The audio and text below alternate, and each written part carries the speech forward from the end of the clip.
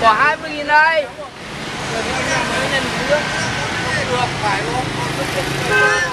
Mẹ nói như thế rồi.